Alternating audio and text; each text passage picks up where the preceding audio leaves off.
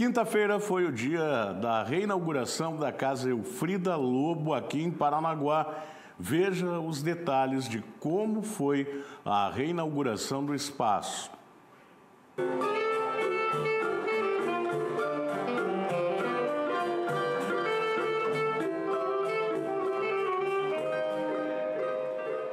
que a música não poderia faltar nesse dia tão especial. O som foi o da banda regional Choro Caiçara.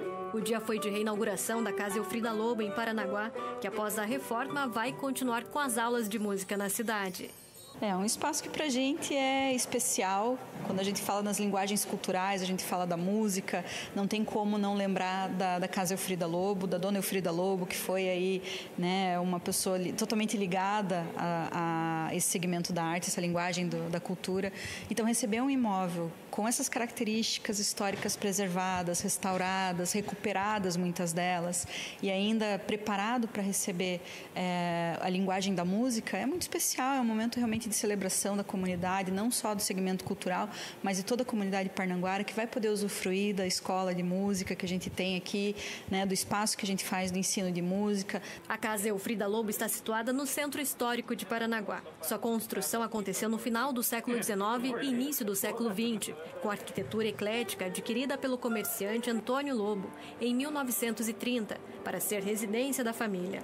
O imóvel foi vendido em 1970 e a residência recebeu o nome da última proprietária da tradicional família. A história da casa também foi preservada. Todos os espaços internos carregam uma placa indicando o cômodo da época. Olha só, aqui, por exemplo, era o quarto que pertencia à bisavó. E hoje, uma sala onde os alunos aprenderão mais sobre esse instrumento musical que é o teclado. A bisavó, que no caso era a dona Elfrida Lobo, que era professora e destacou-se no ensino de francês no Colégio José Bonifácio e que também era amante da música. As bisnetas estiveram presentes durante a cerimônia junto com a mãe, Denise, que é a neta. O momento foi de bastante emoção à família. Denise, que inclusive nasceu na casa, conta que o sonho da avó era de que a moradia tivesse mesmo esse objetivo, o de ensinar música. Sempre foi o sonho dela, que aqui né? depois que ela se fosse, que aqui fosse uma casa destinada à música e coisas assim. E agora com essa, com todas essas benfeitorias que foram feitas, a casa ficou maravilhosa, a casa está linda. E deu muita emoção de entrar aqui novamente e ver tudo tão bem restaurado. Você tem recordações aqui desse espaço? Muitas recordações, muitas.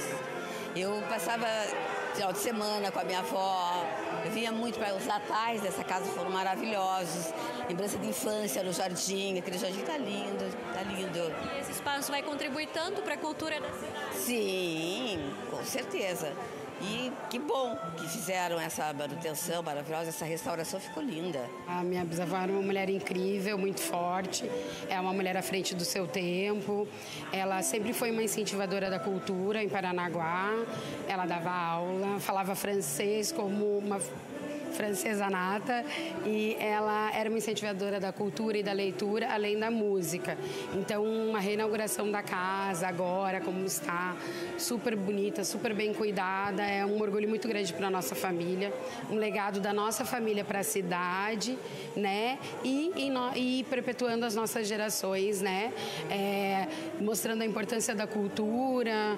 É, a gente ficou muito feliz é, que é, a prefeitura deu apoio né, para esse projeto.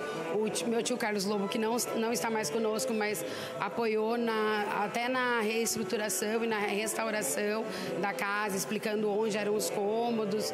Ele ajudou muito nesse processo e eu acredito que seja um sonho dele realizado, além de ser um sonho da nossa bisa, da minha bisa também. Uma enorme emoção, né? É, presenciar a restauração da casa que pertenceu por tanto tempo à minha família, à, minha bisavó, né? E eu acho que é um legado super importante que a, a, minha bisavó, a família e agora a prefeitura, em conjunto com as secretarias que proporcionaram esse projeto maravilhoso, é incrível, é perfeito e, e a gente acredita que é, pode, pode ter o poder de transformar a vida de tantos jovens, né? Com a música. Isso é perfeito. Foi em fevereiro de 2022 que o prefeito de Paranaguá, Marcelo Roque, assinou a ordem de serviço para a restauração da Casa Elfrida Lobo. A dona Elfrida é, era uma, amante da música e foi uma, uma questão que ela pediu em vida que se transformasse essa casa numa casa de música que assim foi feito pelo prefeito Mário, Mário Roque na época e que infelizmente ao longo do tempo ela não teve manutenção, ela não teve uma, um trato adequado e eu sempre agradeço a Deus por ter a oportunidade de dar continuidade ao trabalho do meu saudoso pai e restaurar essa casa importante.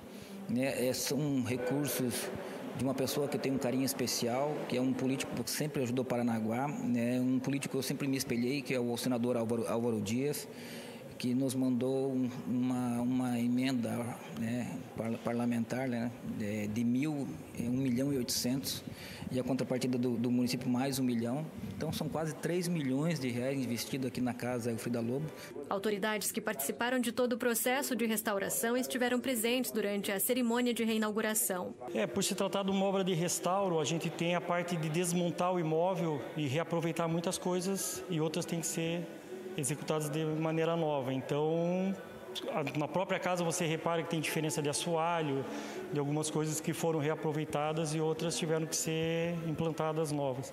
E daí toda a cobertura foi feita nova, paisagismo, instalações hidráulicas, climatização. Então foi uma revitalização 100% da casa. As inscrições para o interessado em fazer as aulas de música na Casa Elfrida Lobo abrem no próximo mês. A gente vai ter agora o processo de seleção dos professores, né? isso já deve acontecer nas próximas semanas. E aí, a partir de abril, a gente começa a fazer a inscrição do pessoal que quer fazer a, a, as aulas iniciais de música. Né? A gente já tem algumas atividades de aulas acontecendo na estação ferroviária, né? já temos ensino de música acontecendo lá hoje, mas a gente vai ter aqui agora um espaço bem dedicado a isso.